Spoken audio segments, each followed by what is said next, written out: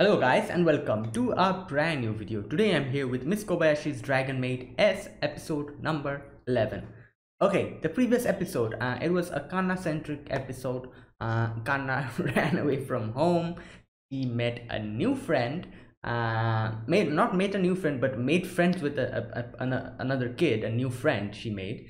Uh, her name is Chloe, and you know, like she is like her first friend who is abroad you know she's in america and because this is Kanna it's nothing for her. She can just like you know pop in and out just like you're like you know visiting your neighbor. This is Kanna we're talking about. She can just fly you know around. And she might be able to bring chloe back in japan as well have a little fun and then drop her back. Like it's easy for dragons like you know like there's no need to uh, for any long distance like you know thing. Like they can just go there on their own that's a good thing. Uh, she you know chloe kind of got kidnapped. Akana realized that yeah i should probably go back home and um you know patch everything up with kobayashi.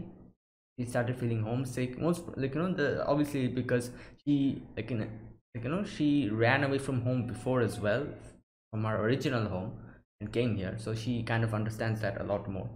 And she helped chloe out and like you know chloe went back to her home Kanna came back to her home and that was the first section. The second section was also centered around Kanna where we see Kobayashi and Kanna having uh you know a day a normal day kind of hanging around having a little walk uh eating little I think ice cream or parfait they ate. And uh, yeah it was just a wholesome nice slice of life episode. So that was the previous episode. So let's see what this episode brings. This is episode number 11 of miss kobayashi's dragon maid s so without further ado, let's get started. I'll be putting the subtitles and the timer here, sync it to whichever is your preference. And let's get started with this video. Alright, so here's the countdown. Three, two, one, go.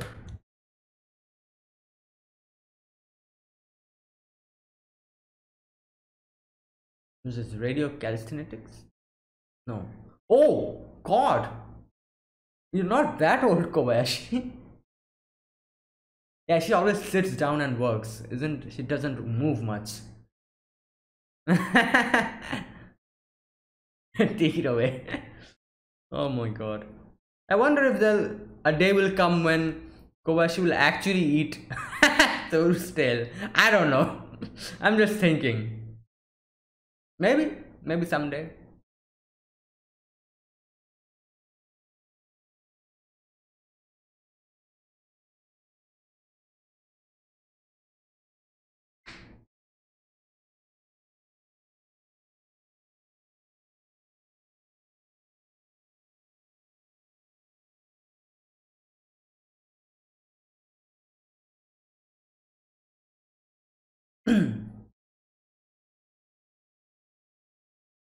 okay, how many episodes does this season have? I think 13. So two more episodes left after this.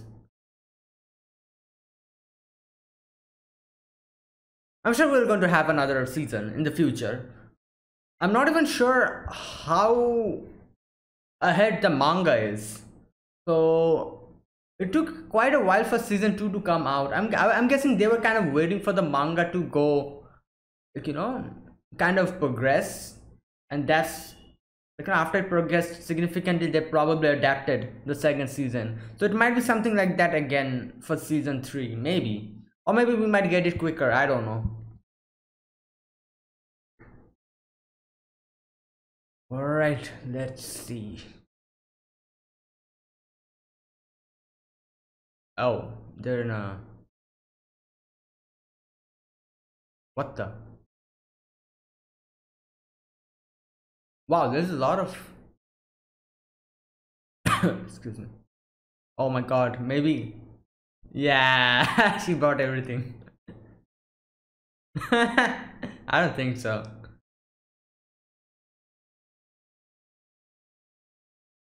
What? Whoa, what the? Um.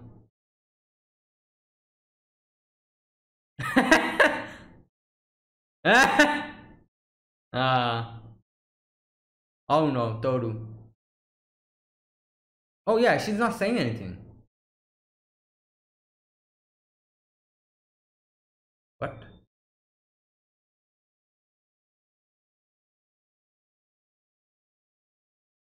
Um.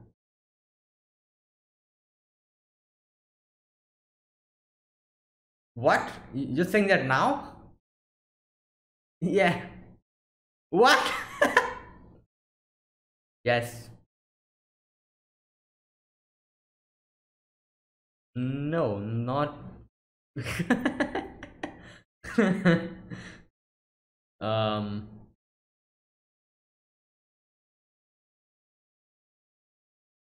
Ah, okay.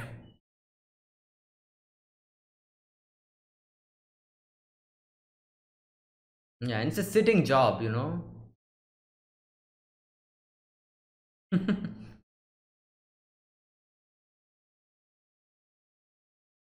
Oh yeah, okay.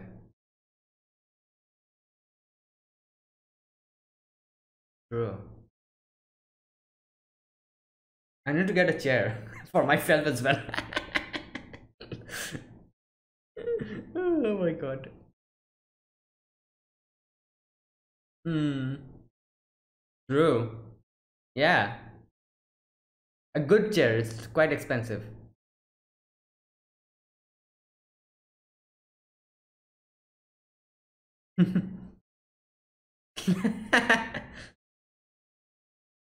oh my god. Oh. Hmm. Eating food of the dead?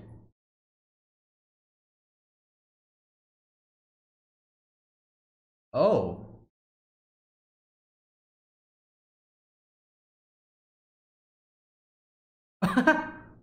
yeah, like I don't know who Demophone is, but I know Persephone.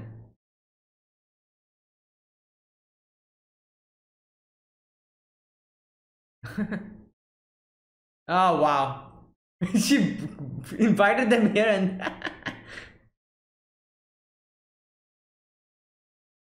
logic, yeah. Emotions are heightened. Hmm.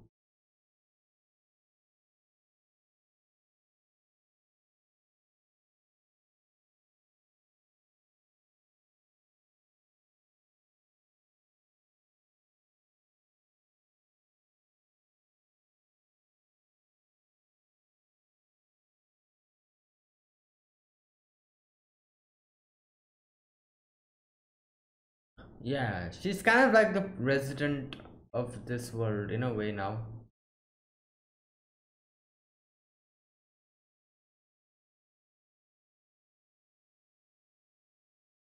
He's doing it.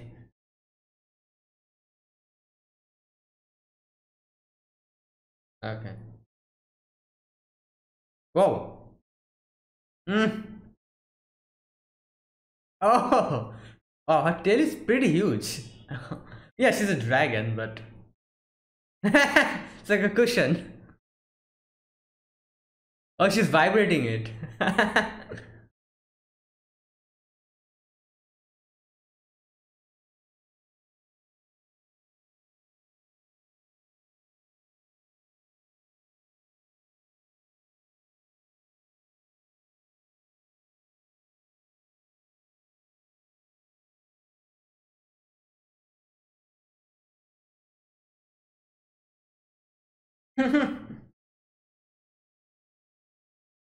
okay. Ah, uh, don't think too much about that. Premium suite, no extra charge. Whoa.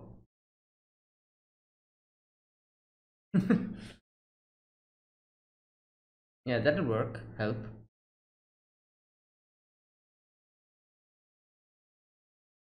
No.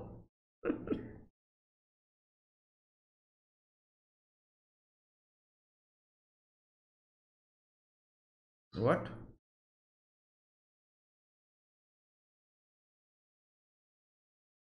What? The lines of code. What? Whoa, whoa, whoa.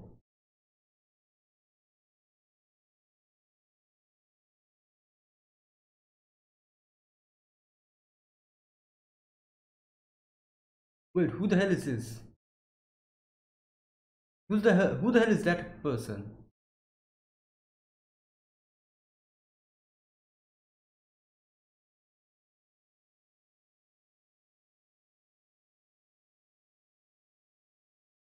Oh my god. Oh, Is this the dad? Oh my god. I think it is the dad. Is it? Oh, great. Okay. Just came to hang out. No need to worry.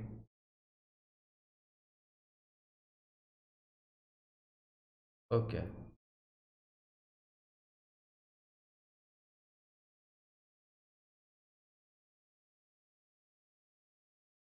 Hmm.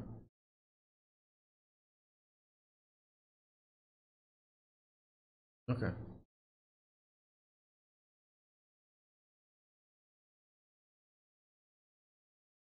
Damn, the epic music. What the?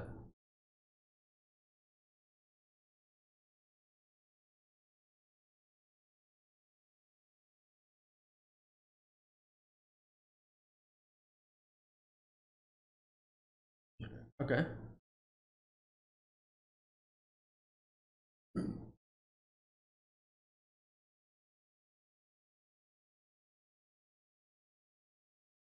Damn, look at these dragons.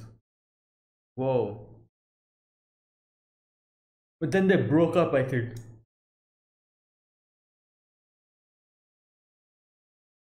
Yeah. Uh, the harmony, the chaos faction, all these things like. Yeah. Harmony faction and the spectator faction. And there's also the chaos faction, I guess. Yeah, there you go.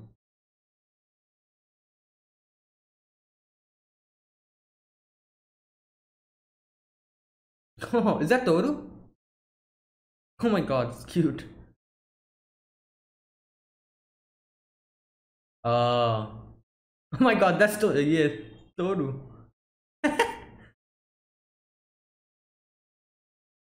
what? Yeah, what?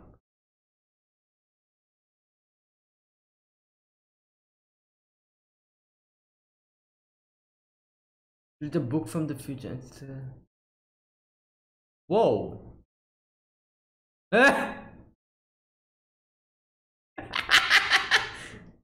okay, well.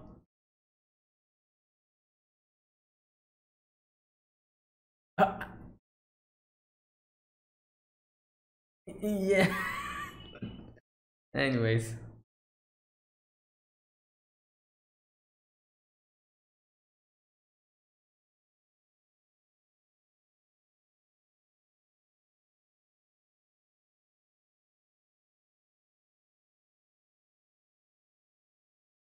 Okay.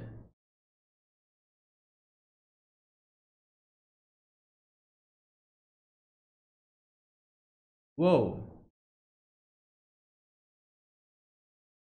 Humans. okay, so that's when.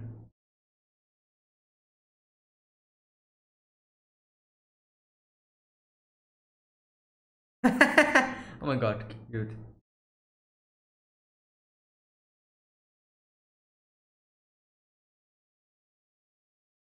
Hmm.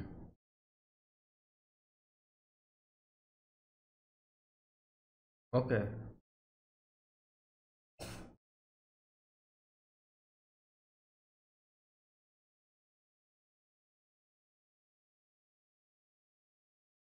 Look at Toru. Toru is like. It's a bad thing. Ah, okay.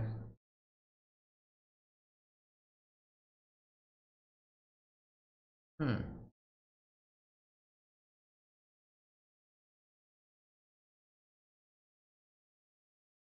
Okay.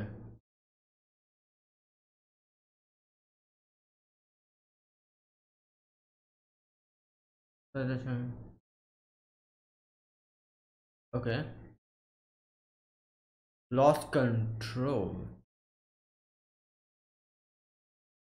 Oh my god. Oh, oh my god. So is that how he got the she got the sword? Yeah, she got the sword in her back or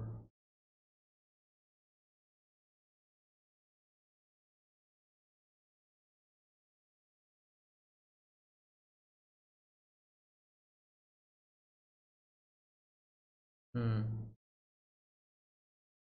Yeah, why suddenly go to the gods and attack? Oh, that's why.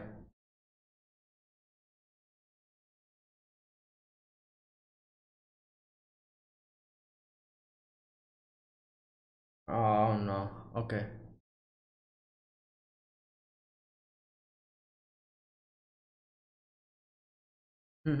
yeah. Okay, and the extra things go like Astoru, yeah.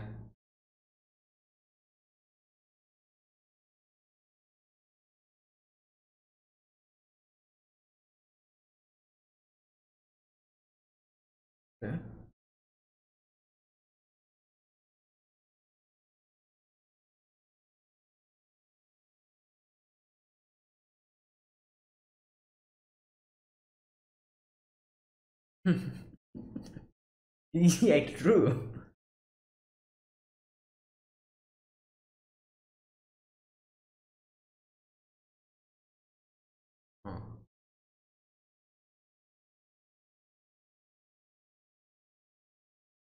Hmm. Ooh. Convenient. okay. What? okay, I guess. Oh, this world's god.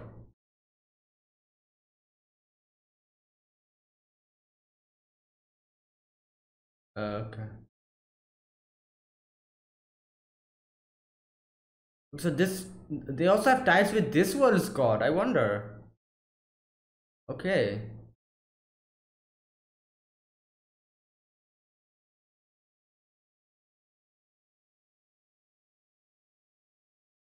Hmm.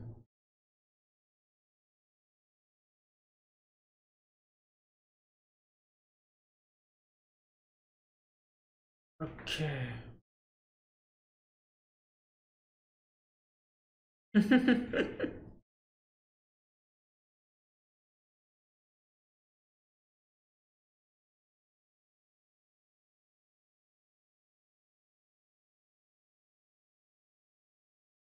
Mm, yeah.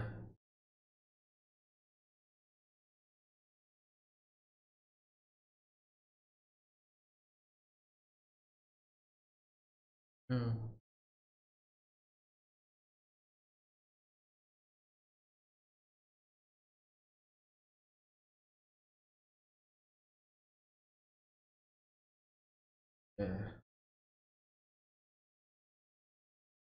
Oh. Where did she learn this from? Oh, some other dragon.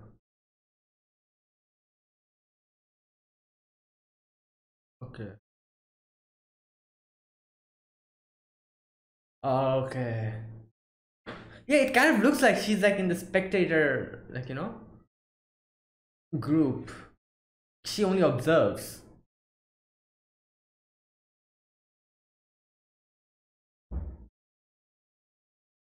Yeah, that's. I'm guessing after this she met Elma.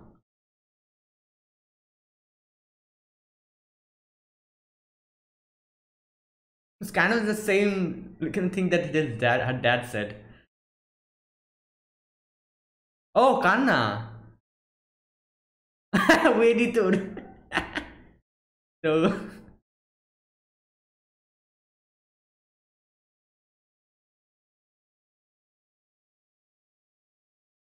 Ah, true.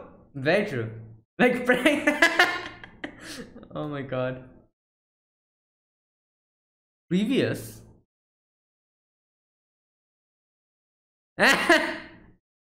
but was Oh my god. Is that? Oh.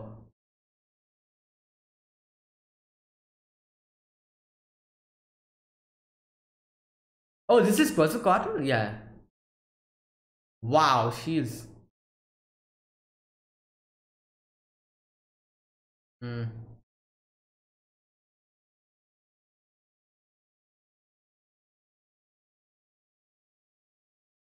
Yes. She looks more like, as I said, the spectator faction.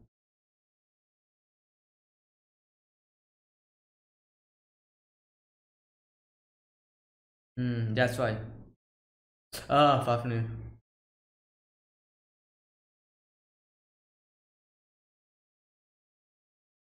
Ah.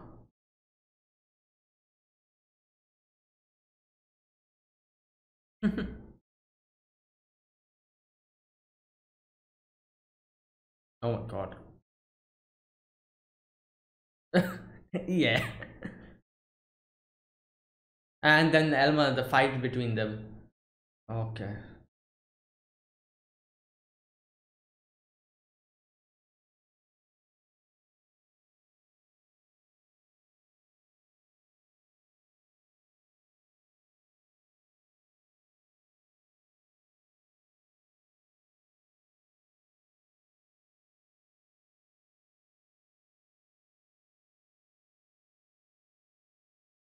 Hmm. yeah.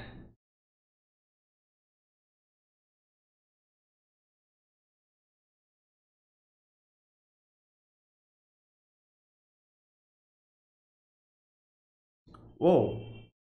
Wait, what? Wait, who was that?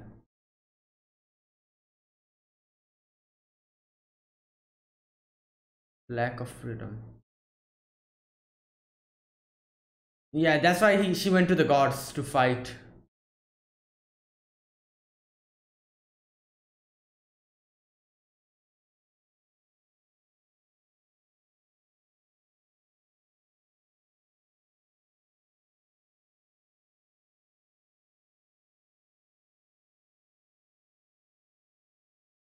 Wow.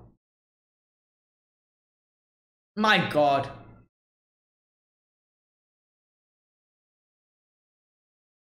Ooh.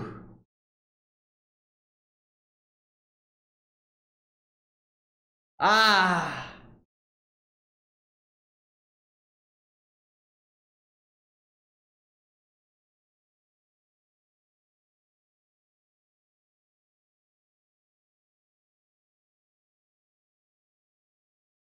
Hmm.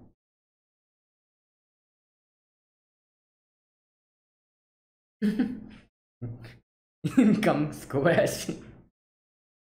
I still don't understand how was she able to pull that off. oh boy.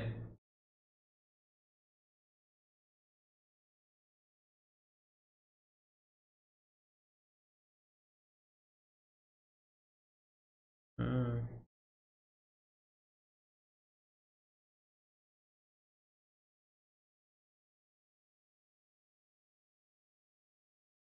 Hmm.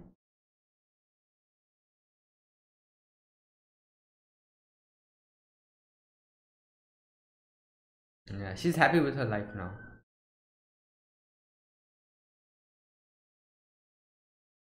Okay. Alright, this episode we got quite a lot of um, information about Toru and not only Toru but like everything that was happening in the other world at that time. And yeah, like we even see how uh, even saw how Kanna was like you know not like you know how Kanna was able to get her form. So all the dragons who have this um, human form, they they know the magic of the transformation thing, which makes them be able to transform. Like I thought it was like this was like a thing, like you know, it was like an inherit inheritant thing for the dragons, where all the dragons can transform into humans. But it turns out no you need a specific spell which you need to learn. Unless and until you know that you won't be able to transform. Oh yeah that that also kind of explains how why toru is not not only toru but most of the dragons are unable to completely transform them like you know like toru has her tail um iru has her hands which she cannot properly do anything.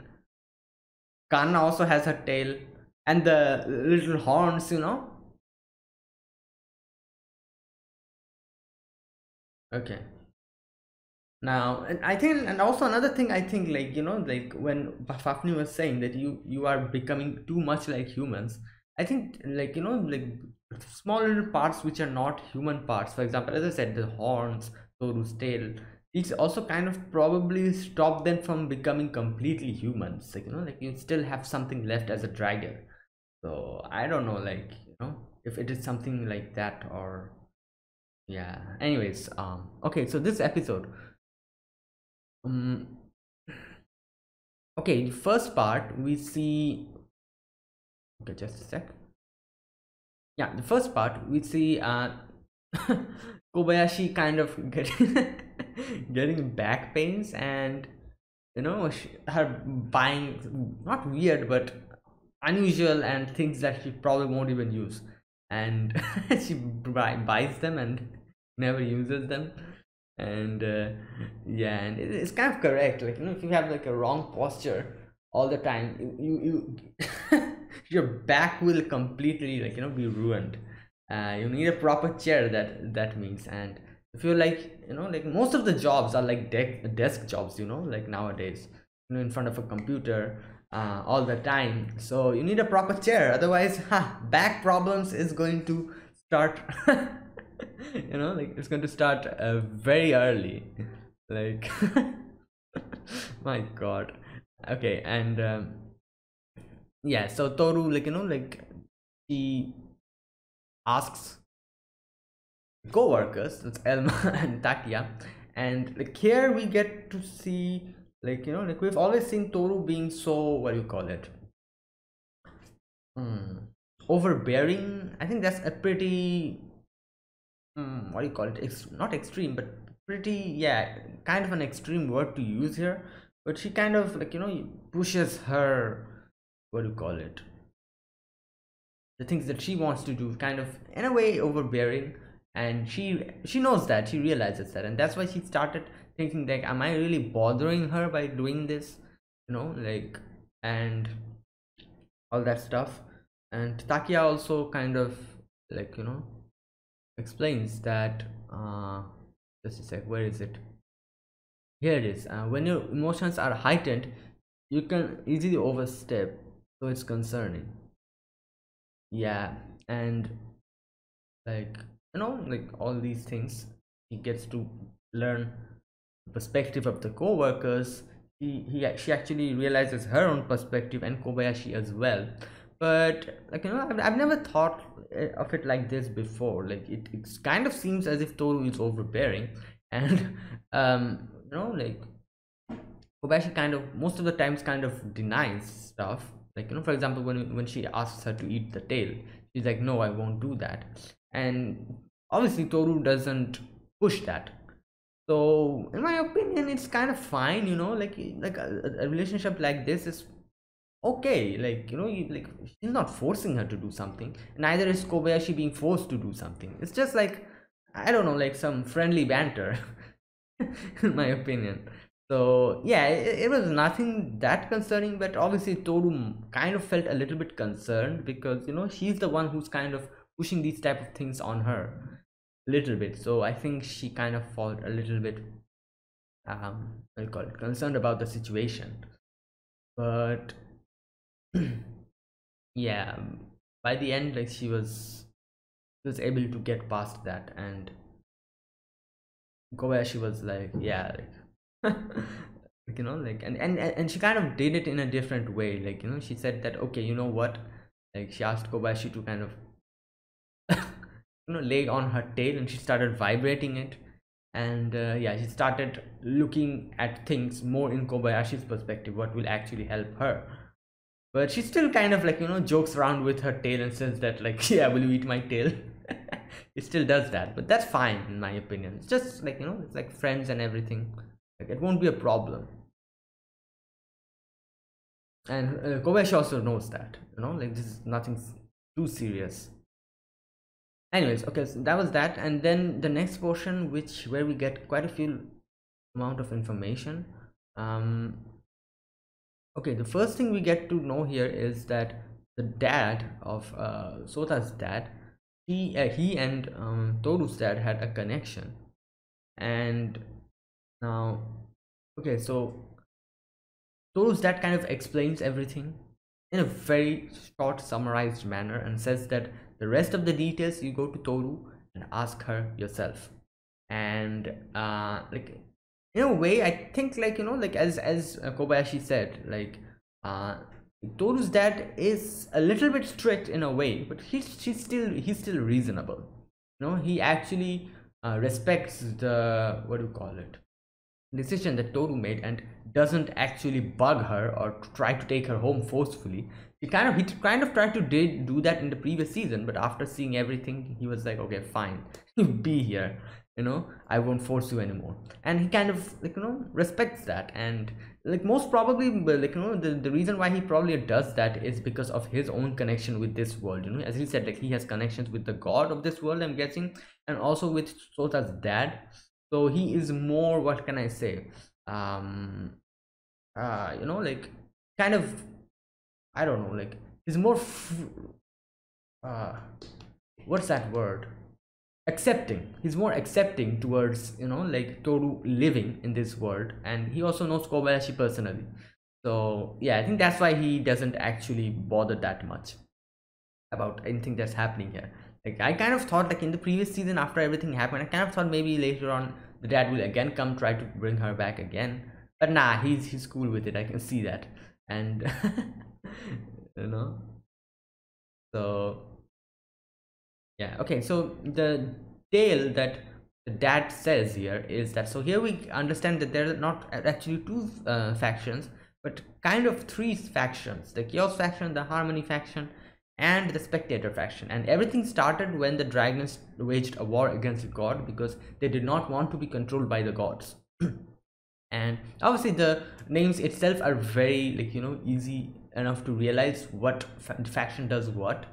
Chaos faction and the offensive tries to like you know you know i don't know like fight and everything like invoke chaos and they're more like the aggressive bunch i guess. Like you know they are more proactive in that manner.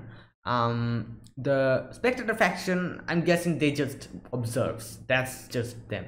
And the harmony faction they doesn't want anything to do with this you know? So they're probably all peace loving people like you know dragons.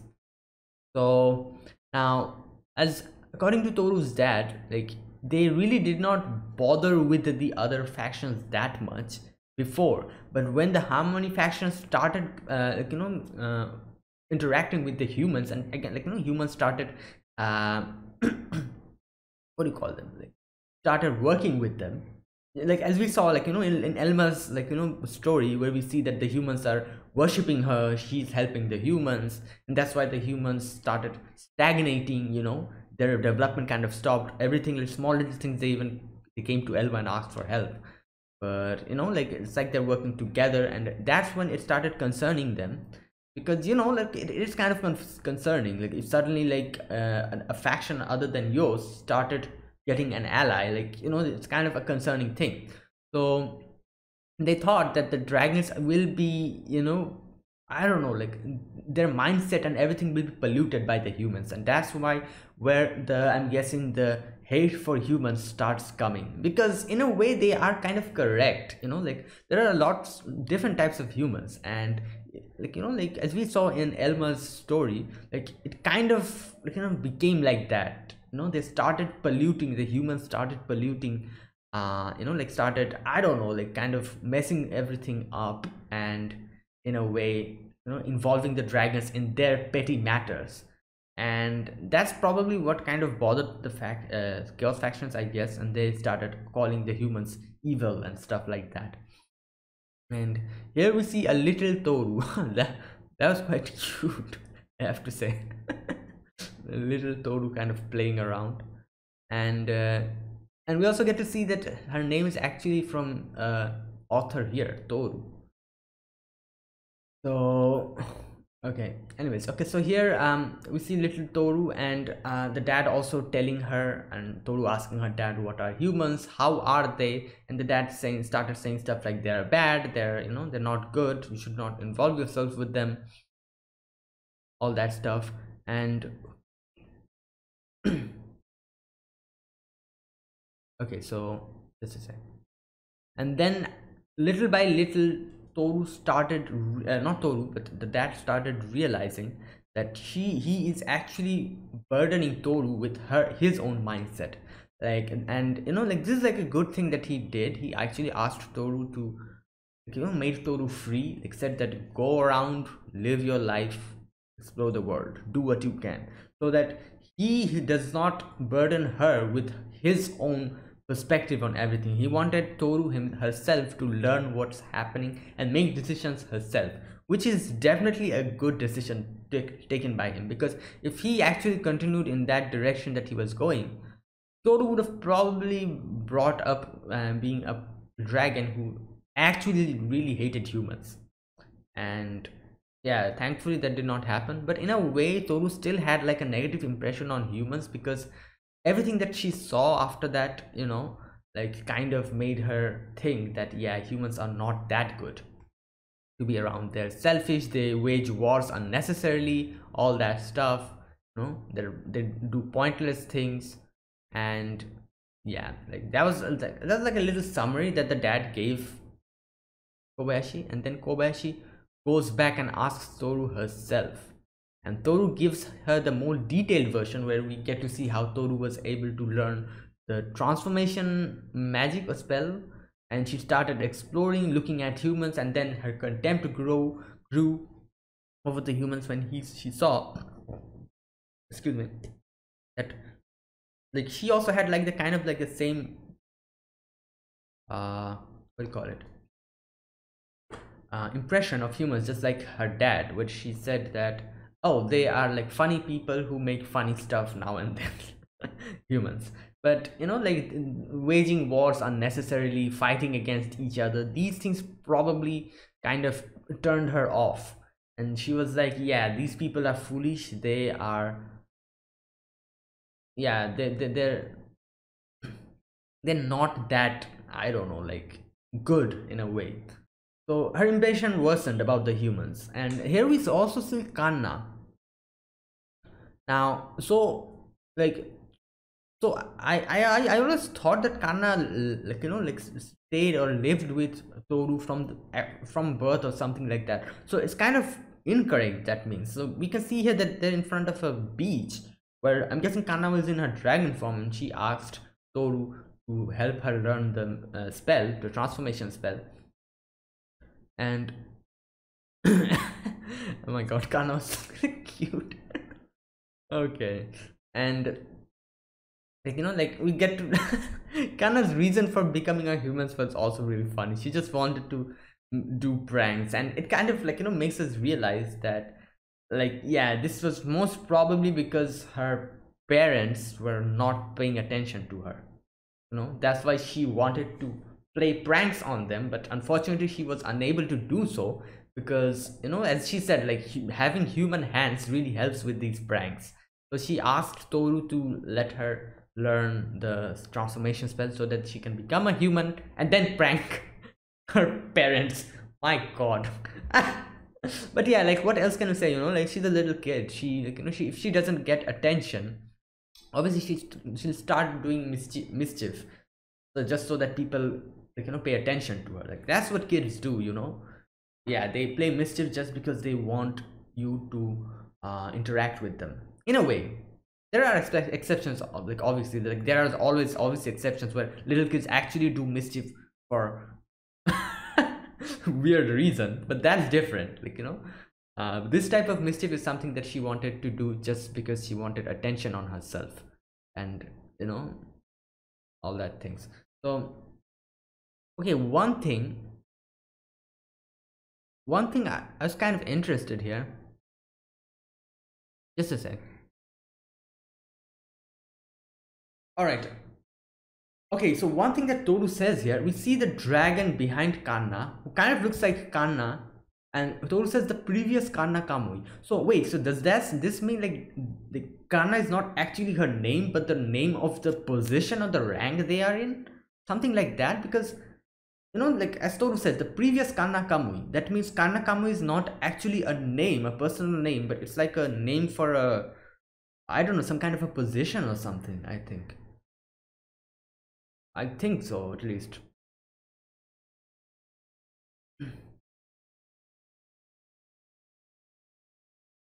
okay um yeah she she just says it like i want attention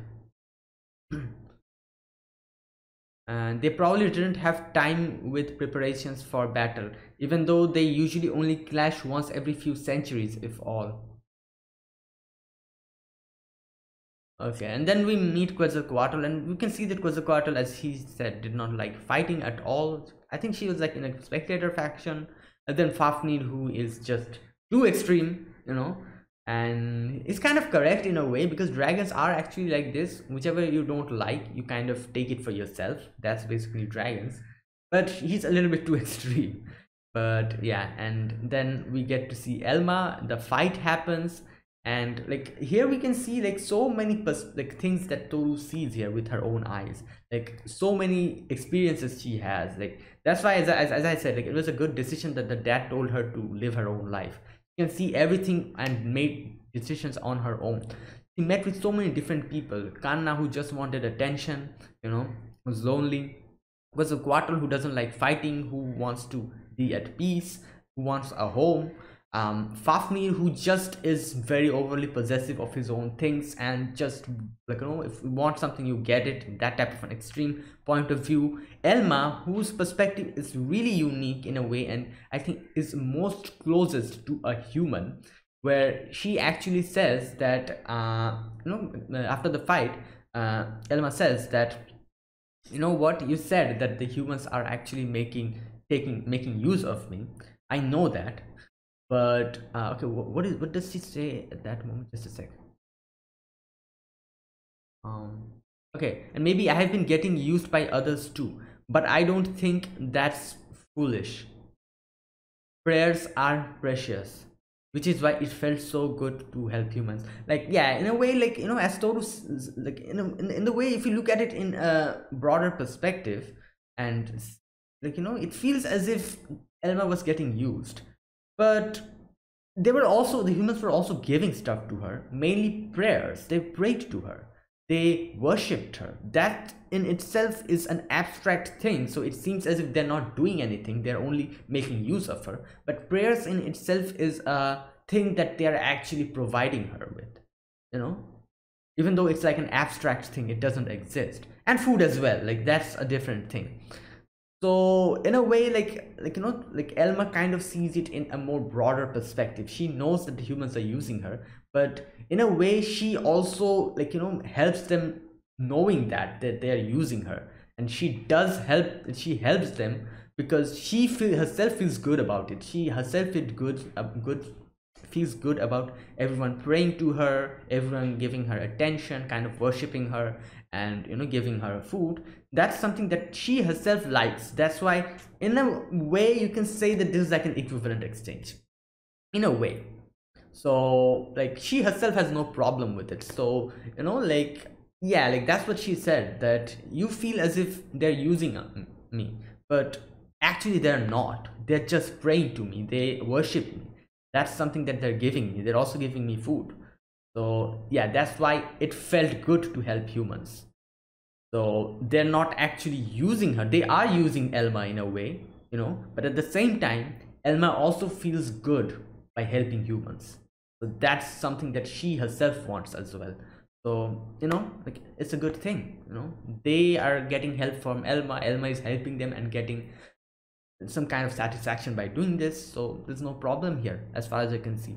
So that's like elma's perspective. And that's a very uh like that, that kind of makes us realize why she's in the harmony faction. She is you know she kind of looks at it in this way in a peaceful way in a nice way. So yeah so yeah and then like she, you know she says that we can't like hang around together anymore after this fight but i thank you for actually taking you know like spending so so much time of your life actually traveling with me. You know i feel honored so yeah okay and then a thing happens which happened so quickly i was unable to actually see after this scene just a sec. Okay we see that toru is trying to stomp someone a kid or something. Yeah we see that she kind of stomps a place and there's this person here a girl i think. I think we see saw this girl before didn't we can't remember. Yeah, one of the in the, one of the previous flash or something. You know, she she's kind of like tucking herself, and Toru's nails are kind of on in, in her sides. I think she kind of tried to stomp her, not stomp her, but tried to frighten her or something, but didn't hurt her. Something like that. Yeah, we see that girl again, and then we see Toru eh, in the water Okay. I'm sure we're going to get more explanations in the future. Uh, what that little scene actually was. They kind of, kind of, you know, like fed through that portion, kind of. So yeah, I'm sure we'll get more answers. But anyways, um, okay and then this like you know i'm, I'm sure like the, the thing that happened after that probably triggered something in her and she realized that yeah like i can't take this anymore. I need to stop this fighting going on. And you know like you know i, I want peace. I didn't want the chaos faction harmony faction to fight each other. That wasn't my will. It felt good having a friend so close we could fight. I respect my father but the chains of being the emperor of Dam Demise's daughter are in the way yeah like she's like you know like she she feels as if as we also see this before where she says that i cannot like i i cannot change my faction because i'm the emperor of demise's daughter. It'll look poorly on him. So it's like a chains that are like you know binding her to that position where she doesn't want to be. So for that chain to break away according to her her own decision that she took after that was i need to stop this war. If this war ends everything ends and I won't be chained to the position of the Emperor of Demise's daughter, and I can do whatever the hell I want, go wherever the hell I want to. So that's why she became so desperate and decided to go and fight the gods herself. But yeah, these are the gods we're talking about. There's this huge, huge person. I don't know who that was. Like holding a trident. Just a sec. Let me check the god out again. Um, I don't know, like it looks like just a sec. Yeah, she's like holding a trident. I don't know, it kind of looks like Poseidon or something. no, with the trident and all. But yeah, she messed with the god, and you know, this is a god we're talking about. Just threw a sword, an energy beam which tra transformed into a sword. It it hurt toru. And yeah she I, i'm guessing after that she came to the human world and met kobayashi. And i always wonder how kobayashi was able to actually take the sword off. Like it's a huge sword. So i don't know. But yeah like kobayashi helped her. And that's what everything was. And then she actually says here that i actually am more comfortable here and i know what i want to do. I want to be a maid. And you know like after journeying so much she was finally able to find a place where she can call a home and place where she was able to settle down.